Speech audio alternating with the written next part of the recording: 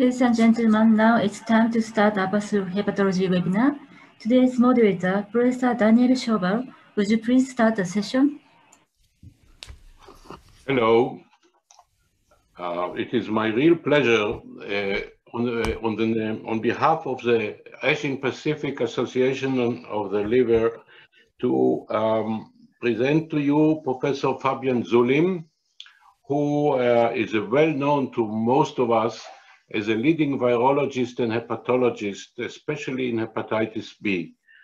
Professor Zoulim uh, is uh, an associate uh, editor of the Journal of Gut, uh, is member of a number of international organizations and ANRS, has published hundreds of papers and has over 20,000 citations of his work.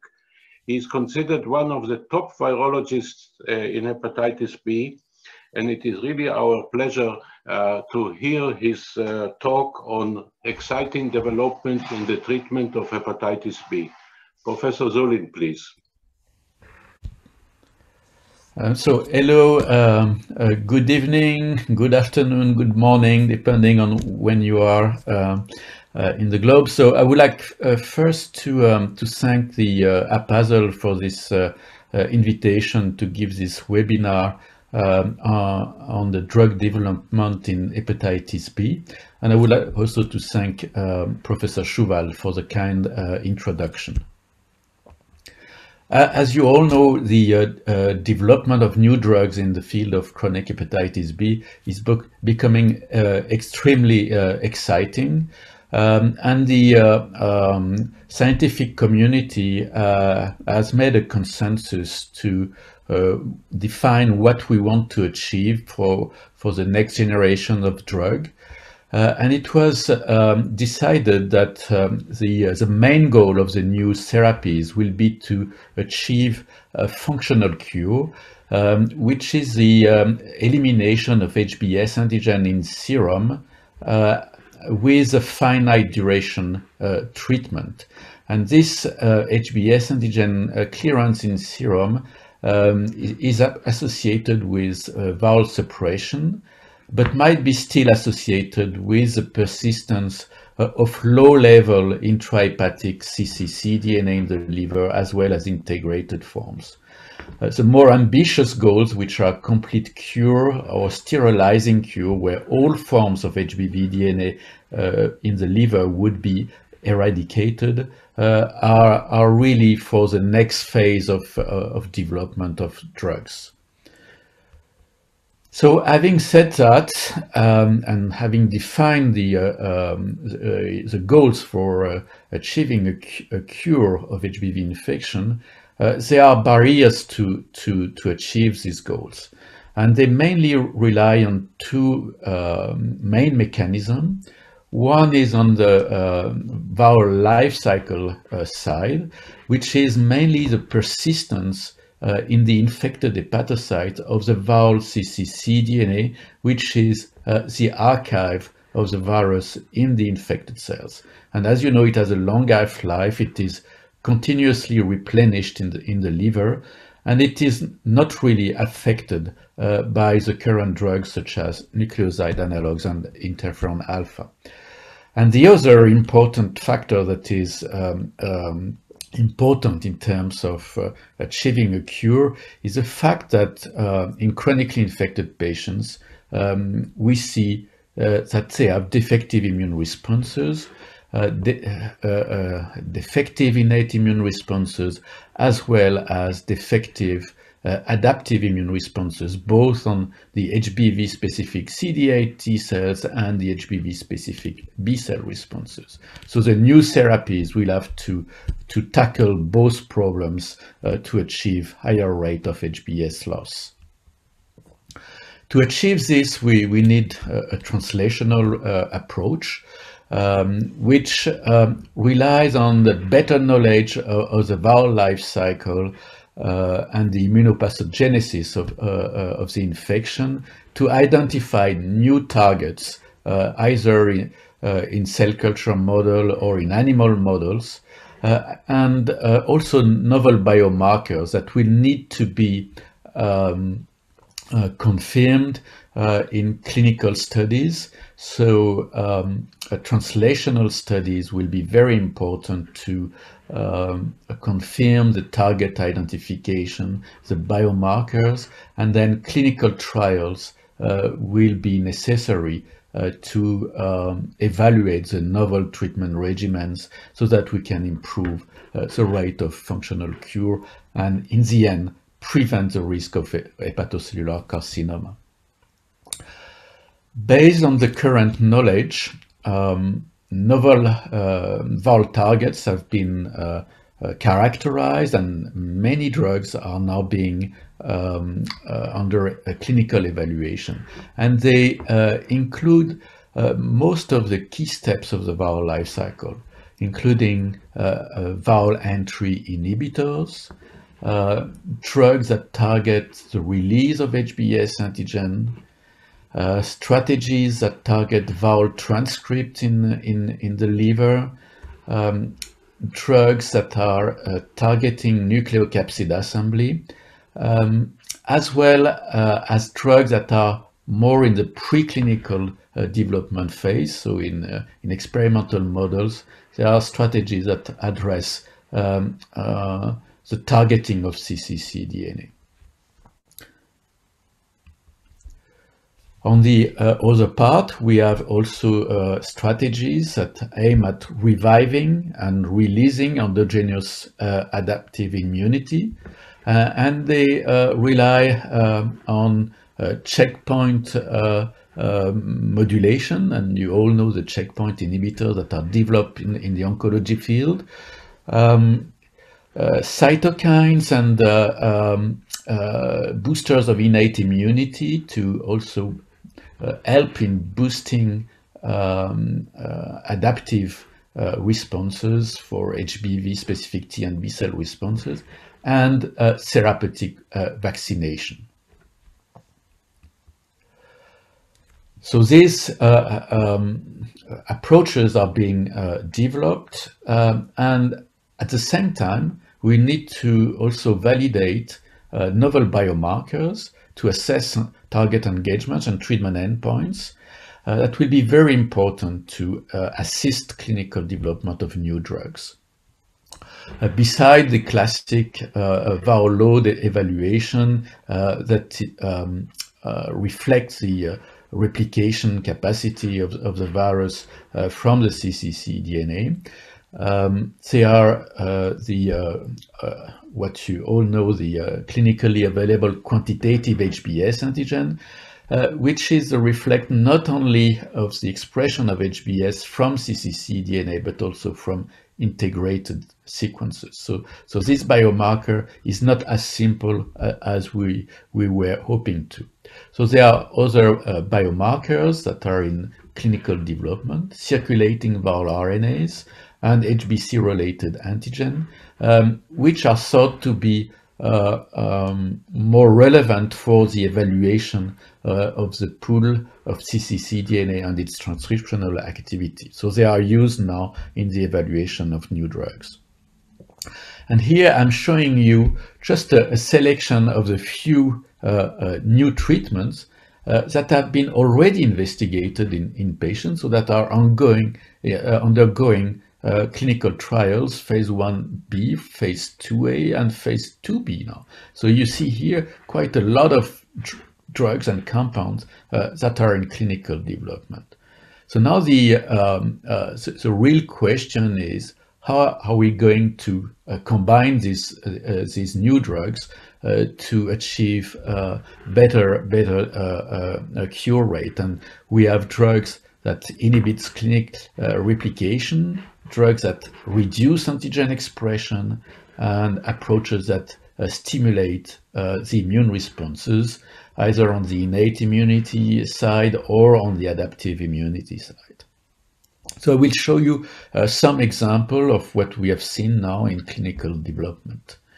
Here, first of all, uh, a question is whether we can combine um, uh, drugs that uh, inhibit viral replication and would uh, induce a more profound uh, inhibition of our replication and maybe a CCC DNA loss uh, at the end, just with direct antivirals. So this is really the question. So combining nu nucleoside analogs and capsid assembly modulators. Uh, and I'm showing you here re results of fa phase 1b studies uh, of capsid assembly modulators uh, that showed quite a, a, a, strong inhibition of HBV DNA uh, and uh, uh, other biomarkers such as HBV RNA and HBC related antigen that have been published very recently. It's just a phase 1b studies, 28 days dosing, um, and obviously it was too short to, to see an effect on HBS antigen and, and the decrease of CCC DNA. So the question was whether we can do uh, longer uh, administration in combination with nuke and see what, what, what, what happens. And here I'm showing you one recent study shown at the uh, EASL at the end of August uh, with vebicorvir, uh, uh, capsid assembly modulator that was uh, done in HB positive uh, chronic HB patients um, uh, in combination with entecavir in, in, in orange um, and in comparison with entecavir alone. And the patients who received entecavir uh, monotherapy were then switched to a combination with the uh, with vebicorvir. So at the end, in the second phase of the trial, all patients were on combination therapy, and you see that after 72 weeks of therapy, it's a longer administration of CPAM so far. Um, we see a, quite a dramatic suppression of HBV DNA, which was, was more pronounced in the combination uh, uh arm. It was associated with a pregenomic RNA reduction in serum, HBC-related antigen in serum, as well as some decline in HBS antigen uh, in serum. Now the question is whether uh, we, at this stage, we can stop treatment um, or whether we would need to continue to induce more prolonged viral suppression and in the end elimination of CCC DNA, or another question would be to add, uh, for instance, immune uh, stimulation uh, based on this uh, background of a profound uh, viral suppression. Another strategy is to combine an inhibition of replication with nukes with an antigen reduction strategy with siRNA or antisense oligonucleotide. You see here the uh, uh, really the uh, um, uh, pioneer experience with um, uh, Arrowhead, followed now by Janssen, uh, who um, um studied the siRNA in nuke-suppressed patients, looking at the effect on HBS antigen. And you see that after three injection of siRNA, um, uh, this uh, HBS antigen uh, response was sustained for, for uh, uh, almost a year uh, after the end of um, siRNA administration in, in 40% of patients. So this is really something that is promising. There are other siRNA formulations that have been presented at AASLD a couple of weeks ago. Um, for instance, um, uh, from um, uh, Arbutus uh, uh with GalNAc uh, delivery of siRNA, several injection look of siRNA, and you see a very nice decline of uh, almost two log uh, of HBS antigen. So this is uh, something promising. And there was also this RNA de developed by Dicerna and Roche, presented also by Professor Yuen, who showed a very nice decline of HBS um, of approximately two log. So um, now we'll have to see uh, how this will go. Uh, and uh, um, there are also, other approaches to decrease HBS antigen expression uh, with antisense oligonucleotides. And this was presented at EASL uh, three months ago. Um, and uh, in that trial, with a few administration uh, of antisense uh, oligonucleotide. Uh, there was also a profound decline in HBS antigen level, as you can see here, um, two logs or more. And interestingly, in this small trial, four patients lost HBS antigen uh, at day 29 and two remained detectable uh, uh, a, long, a long time uh, uh, after uh, the treatment period. so now phase phase 2b are, are, have started, so we will see how it goes. Uh, the obvious uh, uh, question is whether we can go to the next step of triple combination of direct acting antivirals, so with nucleoside analogs, capsid assembly modulators, and uh, uh, antigen reduction, for instance, with an siRNA.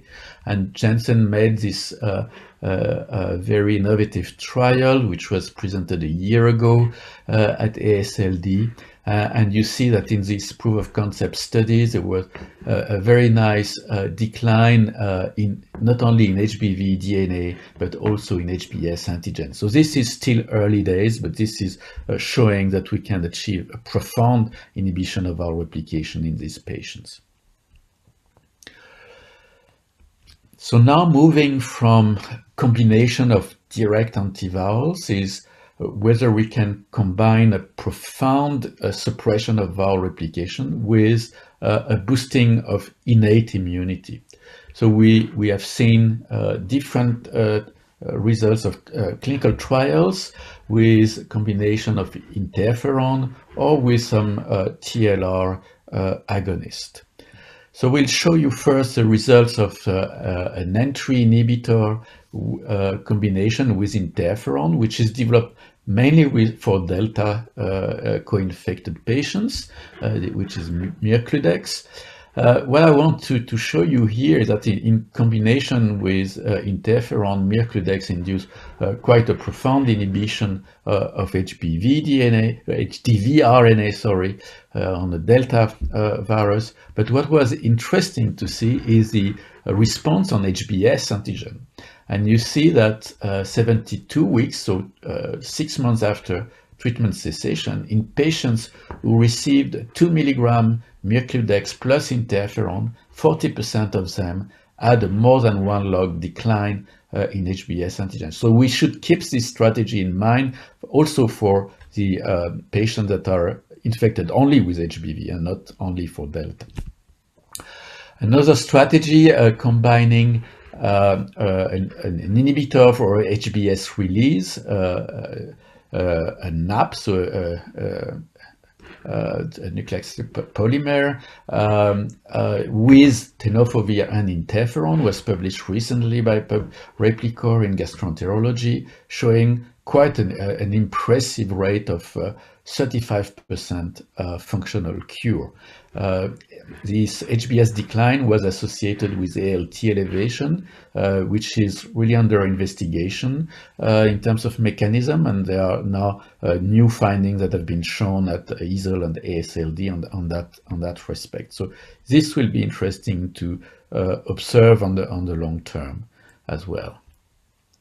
Another combination is with uh, nucleoside analogs and a TLR8 agonist, um, which was presented at, at EASL by, by Professor Gane. And it, it was shown that this TLR8 agonist was safe in, in patients in this phase two study uh, for 24 weeks. Uh, and was associated with a, a, moderate decline in HBS antigen. Now, to me, the real question is whether uh, now that we know this uh, combination is safe, can induce some level of HBS decline, whether we can combine it with another immune modulator to enhance the rate of HBS decline. Now there was uh, something very unfortunate. There was a, a, combination of nuke with a RIG-I agonist inarigivir, which shows quite a promising results in the phase two trial, the ACHIEVE trial, with nice decline in DNA, RNA, uh, um, and also a, a, little bit on HBS antigen. Uh, and it was then further continued for longer term administration from 12 weeks to 24 weeks in the Catalyst trial. And unfortunately, this combination uh, of NUC plus inarigivir uh, led to severe side effect, and uh, and patient, one patient died in this clinical trial of, of lactic acidosis uh, and multi-organ failure. So the, the treatment was uh, development was stopped, and this is something to remind us that patients um, the bar is very high because patients are, are doing very well on nuke uh, and coming with um, uh, new drugs is always very challenging.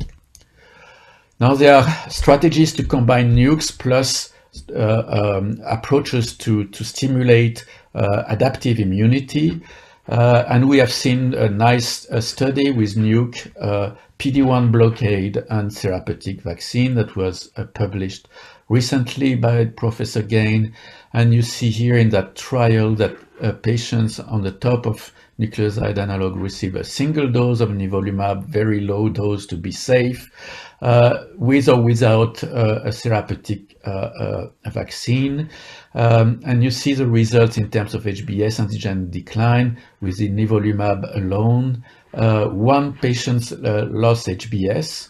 Uh, and in the combination, triple combination with a therapeutic vaccine, you see a decline in HBS antigen, which remain, remain modest, but paves the way for future trials, uh, uh, um, um, which will be interesting to, to, to evaluate.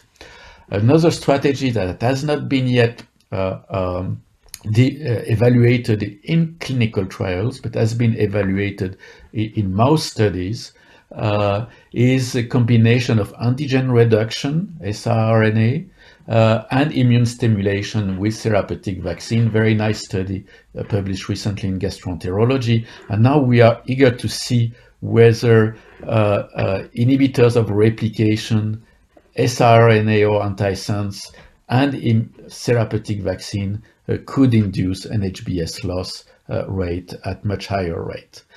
So you see where we are, we have all these type of strategies, uh, very stimulating, very interesting, and now we will need clinical trials to see what will be the best combination to induce uh, a high rate of HBS loss. And for this, there are different type of uh, strategies, um, uh, and mainly it's, it's the use of big clinical trial platforms uh, as you, that has been used for, for uh, um, in the oncology field, which may uh, help to study multiple targeted therapies in the context of a single disease using the same platform. So you don't you, you have the same infrastructure so you don't need to go uh, for uh, all the uh, regulatory approval and so on. And so you are within the same trial. So this is very uh, powerful for big pharmas. But I think we shouldn't forget exploratory trials for proof of concept studies in small group of patients uh, to, to test innovative approaches. And to finish, I would like also to, to, to give you some uh, perspective for the future, which will be uh, this, which are uh, based on the study of, of strategies that are in preclinical uh, stage the direct targeting of ccc-DNA with gene editing, CRISPR-Cas9 targeting of ccc-DNA, for instance, uh, or with base editors.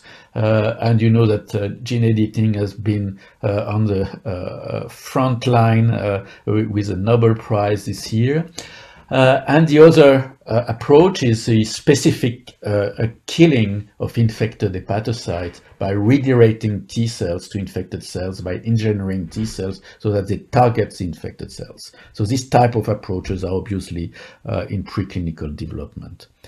And I would like to finish to, with um, uh, some hope uh, and I think with all the data we've seen, uh, uh, HBV cure will be an attainable goal within the next decade.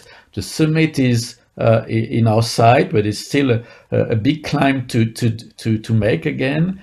Um, this will be based on the effort, ongoing effort of drug discovery, antivirals, immune therapy, uh, biomarkers, and evaluation in clinical trials. But I would like to, to also to, to remind us that we uh, we'll need also to work on the uh, public health issue and the access to care uh, in, in regions of the globe uh, where HBV is highly endemic. And with this, I would like to thank you for your attention. Thank you. Thank you, Professor Zoulim, for this wonderful uh, overview on, in a very exciting uh, subject. Um, before we uh, respond to some of the questions, so far I've seen only one question. I would like to ask you, in terms of the definition of functional cure, uh, do you think the functional cure will be, uh, it will be necessary provided that the DNA is really suppressed and replication is suppressed, do you think that the functional cure will be boosted periodically, or do you think that we will have a way where we can stop the, uh, the replication once and for all? Um, you, you, know, I mean, there are a, a lot of discussion uh, uh, uh, uh, around that. This is a very important question. There is, um, for instance, there are um, because if we first we if we put the bar too high, um, functional cure may not be achieved in phase two studies because you, we, we, we need to find the right regimen, the duration, the exact duration of treatment. So there are now um, uh, really um, consideration that if we see a decline in HBS antigen during treatment administration in these phase two studies, and that is HBS decline associated with viral suppression is sustained after drug withdrawal, this could be a signal to continue drug development in phase three. But this could be, even for phase three studies, um, achieving uh, uh, finally a, an inactive carrier state after just a six months treatment if we achieve that in the majority of patients, this would be already a wonderful uh, goal and achievement. So, so you know, I mean, this this is in in discussion currently uh, because if we put the bar too high, we will never reach it, and we we may dismiss many drugs that are that could provide some benefit to patients. Thank you. Uh, we do have a number of questions, and I will uh, get to a few of them. Uh, one question was, will these new therapies also address the cure of occult hepatitis B? This is um, a, a, very uh, interesting, uh, interesting question. Um, uh, occult HBV infection is very common in in Asia and uh, is associated with difficult condition for patients undergoing uh, uh, uh chemotherapies or uh, immunosuppressive therapies. So, um, you know, we it's too early to say. Um, we will have to um, to see uh, first what, what we are able to achieve in uh, in our classic um, uh, chronic B patients um, before we, we reach this, this discussion. But, but I agree, it's a very important point. So I would see it now more like um, maybe having uh, immune-based strategies in, in occult infection. Um, that would be very interesting. And the second point would be to have uh, drugs that are not available now for the clinic uh, that would target cccDNA. Um, and that would be the real the real way to to really uh, target uh, the occult infection. Thank you. Now there is one question. Uh, well, um, if you have a patient with co-infection with HBV and HCV, which one would you treat first? So HBV and HCV. Huh? Um, yeah, uh, I think you know. It, what what, what we do uh, uh, uh, currently, I mean, with the drugs that are available, um, we usually uh, treat both uh, at the same time.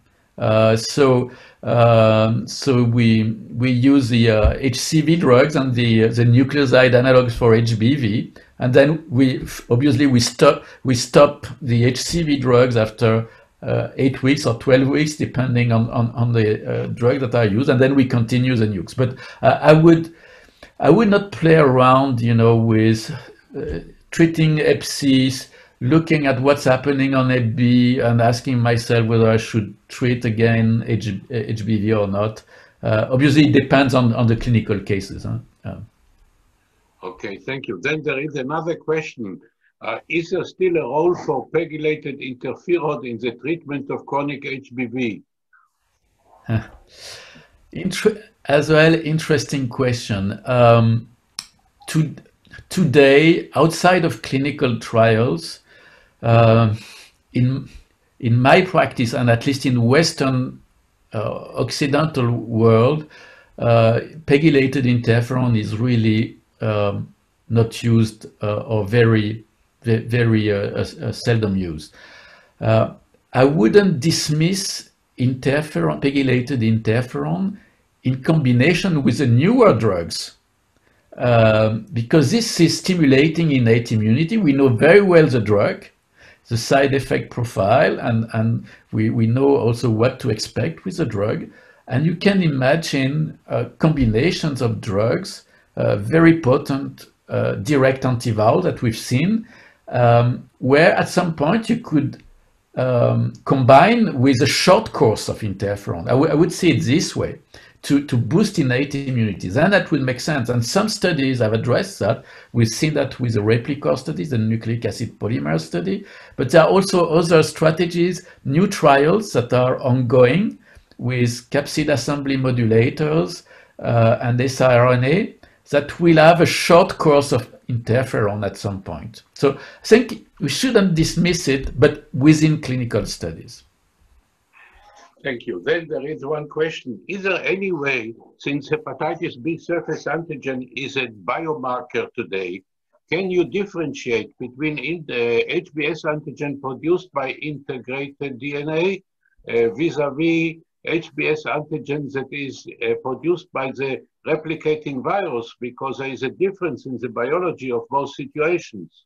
Yeah. Um, this is also an, uh, an, important point, as I alluded to. I mean, it's the um, HB, quantitative HBS is more complex than we thought, and this question is really addressing that. Um, the issue is that um, from integration, we have mainly, I say mainly, um, expression of the small HBS and uh, a bit of middle uh, uh, there's a middle uh, surface protein. From cccDNA, we can have all three forms, the small s, the um, middle, and the large s. So if you see the large S, you're almost sure that it comes from cccDNA. But if you see the small s, it can come from both. So it will be difficult to, to, you know, to have a simple assay biomarker that could differentiate easily the two. Yes, thank you. That is uh, very important comment. Okay. Any other questions? I have not seen any other questions here. Um, uh, let me just have a quick look. Uh, I've seen some in the in the chat. Any? Um, may I make a comment? Sure. Yeah. Uh, relating to the uh, HBV, HCV uh, co-infections, I, I, think that I, I, really concur with Fabien that we have to treat both. It's not just uh, um, uh, from the virological point of view, but then uh, we have HBV reactivation problems in those co-infected. Um, and therefore, I think that it is almost a must for those who are surface antigen positive and have HCV and plan for um, uh, direct acting antiviral agents therapies to be placed on or closely monitored. I think that they should be placed on uh, nukes for that reasons to prevent HBV reactivation. So while we are trying to control the hepatitis C. But then um, uh, we're having the, the uh, well, uh, Fabien's given excellent reviews of all the, the compounds uh, in the in the pipelines uh, in an attempt to cure hepatitis B. And me and Danny actually, um, more than 20 years ago, we, uh, we reported the adaptive immunity transfer for a surface antigen clearance and shows the importance of immunity uh, of uh, really getting a, a, cure. But then having said that, um, uh, Fabien, can you enlighten us uh, about uh, the immunological studies involved and which attempted in those phase two trials and how does it correlate uh, with the um, because the surface antigen is now artificially reduced. It's not the reflections. Uh, is it really a reflection of um, uh, immune recovery? Or is just the surface antigen reductions? And having said that, uh, would that be an explanation that most of these compounds, uh, when they stop, they have uh, a rebound of the surface antigen? Yeah. No, no, this is, um, George, this is a very, very uh, important question. Um, I mean, I didn't have time to, to obviously address all these points, but uh, it, it's very good for this discussion. The one of the issue, and I, I, I alluded that to um, a little bit in, in the biomarker slide, is how do you use HBS? Is it when you're using an siRNA? Uh, it, it, can be seen mainly as a, uh, an assessment of target engagement. If, if your siRNA works, it will you will see a decline in the uh, viral RNAs, so uh, and subsequently a decline in the expression of viral antigen, including HBS. So this is the mode of action of the siRNA. It doesn't mean that the pool of cccDNA has been uh, uh, eradicated or declined, and it doesn't mean that there was immune re reconstitution that maintained HBS uh, suppressed. So, so the question is very valid, and and and we we need to really pro progress because we know that the, the decline in. We suspect that HBS is important in the exhaustion of T cells. Um, we suspect. Now the, the question is whether a, de a decline in HBS induced by siRNA or antisense is sufficient to, to restore the the uh, immune responses so that we'll have a, a, sustained control of the infection, or whether we will need this suppression of HBS and then come with, with immune uh, modulatory approaches. I think uh, maybe in some patients, but it may be sufficient, just the but we, will have to learn from the, the, the, trials. But in my view, in the majority of patients, we will need to combine this siRNA or antisense approach with immune stimulatory approaches. And I think this is also one of the reasons why the therapeutic vaccines have failed so far, because they were used in combination with nukes, where we know that the level of, it, of viral antigen remains very high. So the exhaustion of T cell is still there. So coming with a therapeutic vaccine, you see a little bit of immune stimulation, but it's not sufficient to, to, to control the infection. So I would really like to see what, what, uh, what I uh, propose at, at, the end of the, uh, of the talk, uh, um, strategies that would combine this uh, siRNA-induced decline in HBS and then come with a therapeutic vaccine uh, together or not with checkpoint inhibitors. This has to be to be to be uh, addressed, uh, obviously. Thank you. Chairman, may I have one question? Uh, thank you, Professor Lau. Do the other panelists uh, have any questions, Professor? Yes, uh, Kadir yes. from Turkey. Yes, HBV infection still is a worldwide problem uh, I think the main goal for the treatment is the elimination of the cccDNA. And there are a lot of uh, studies for uh, this uh, goal.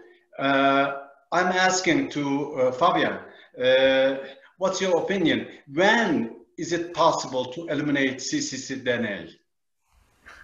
Huh. Um, you know, we, for, for the um, cccDNA, um, we, there are a strategy with CRISPR-Cas9 uh, that are evaluated in, in, in cell culture and, and animal models. So CRISPR-Cas9 was uh, as a on the front line uh, because the, disco the, the discoverers of, uh, of CRISPR-Cas9 got the Nobel Prize in uh, uh, in October this year. Um, so this this type of technology is is being really um, investigated in experimental models it's more complex than we, we, we thought before. With when you do studies in in in um, uh, uh, with infected hepatocytes, what you have actually with CRISPR-Cas9 is um, either uh, inducing mutations in cccDNA um, uh, that may silence it, uh, or degradation. But degradation of cccDNA um, seems not to be the main mechanism. So the main mechanism seems to be indu induction of mutation in the cccDNA. Um, so we'll have to learn, you know, uh, and one of the, um, there are two, two challenges with CRISPR-Cas9. Uh, one is um, the delivery for, for patients. Uh, so we'll have to work on that. Um, and the second one is that depending on, on strategies, but now they are improving, some strategies can induce double, uh, uh, double strand DNA break. And this wouldn't be good because this could um, uh, be, um, this could favor uh, chromosomal recombination with the integrated sequences. So cccDNA and integrated sequences in chromosomes, then this, if there are double strand breaks, and they could recombine and make some bad things. So, but there are now new strategies that do not induce the double strand breaks. It's mainly with what we call base editors. So they're just doing point mutation in cccDNA. So a, a lot of work to be done. It's not tomorrow. Yeah, really.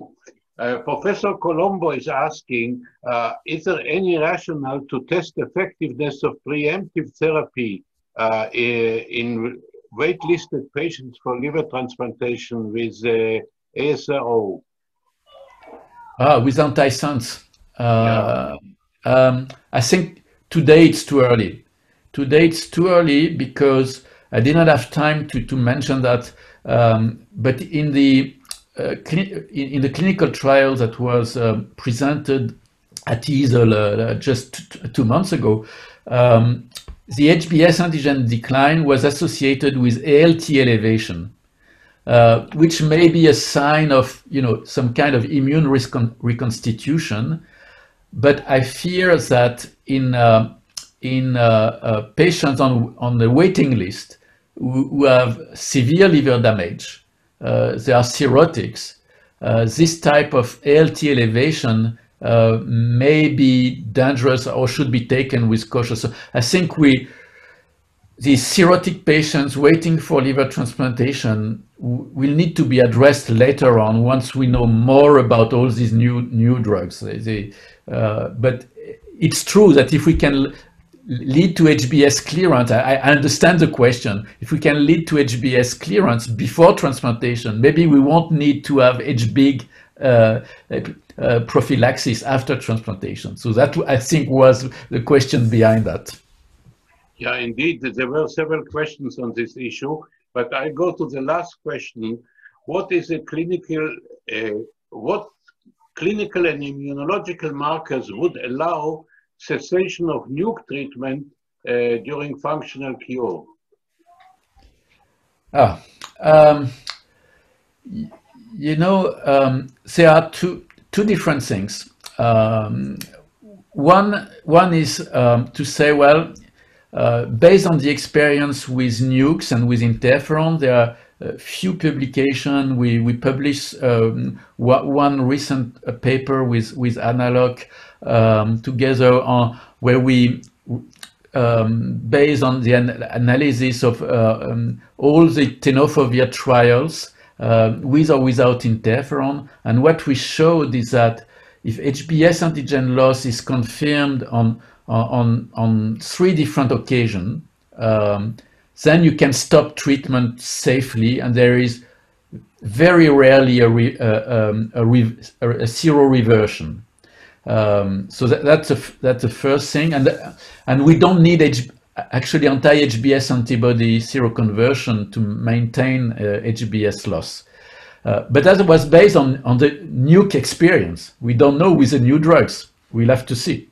Uh, the other thing, which which could be very interesting, is at some point with the new antivirals that I showed you, uh, for, for instance, nucleoside analogs and capsid assembly modulators or siRNA in combination, can we stop treatment before HBS loss? If HBS has been has declined to very, very low level, can we stop at some point?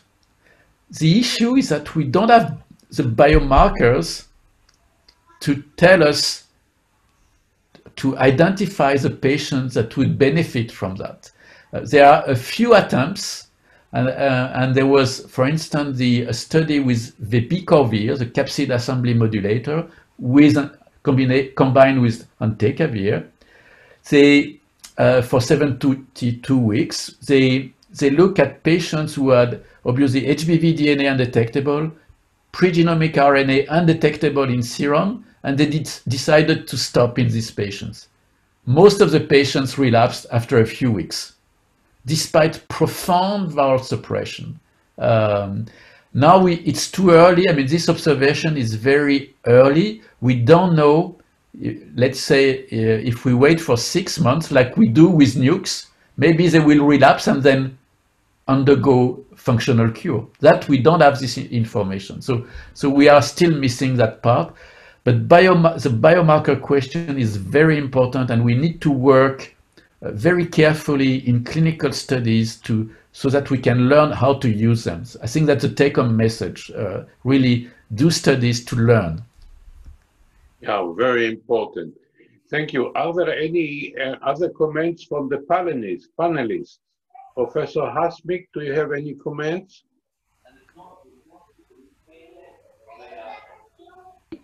No comment. Thank you, Professor uh, Fabien, for nice talk. Uh, no any comment. Thank you. Thank you. And Professor Sarin?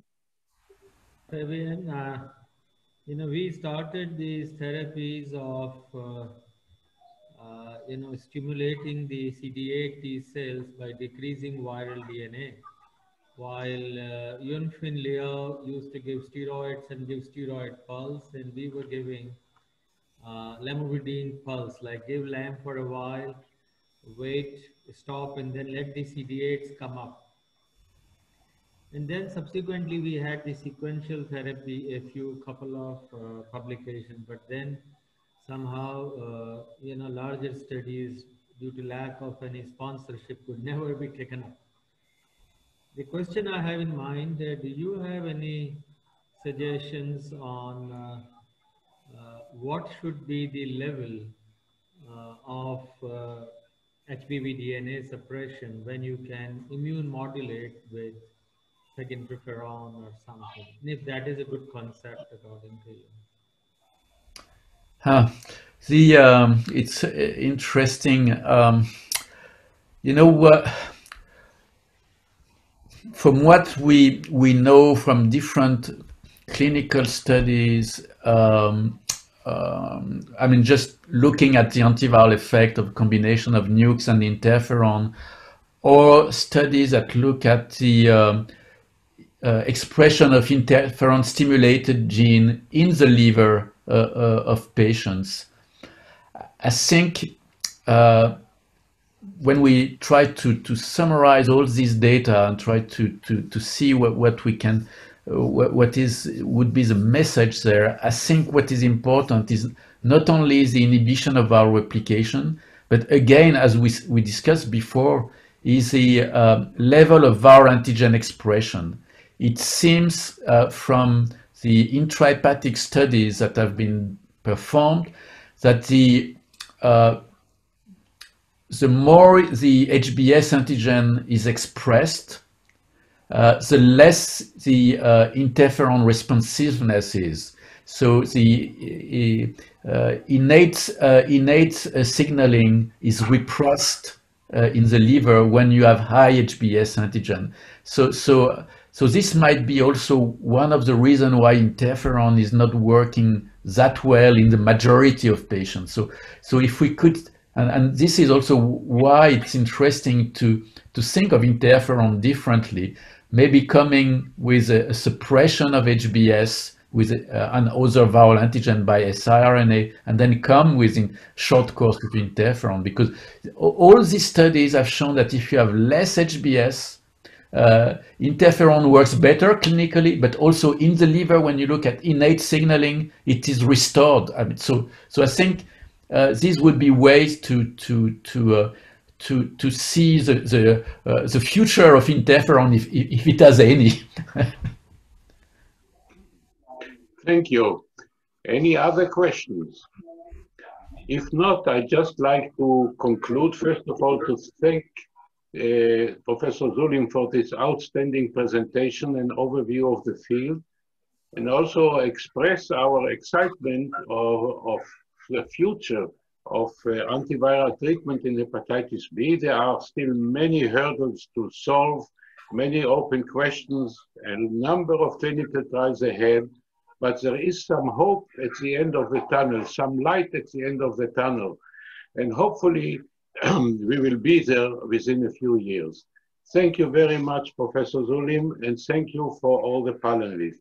And thank you for the Asian Pacific Association for the Study of the Liver. Thank you.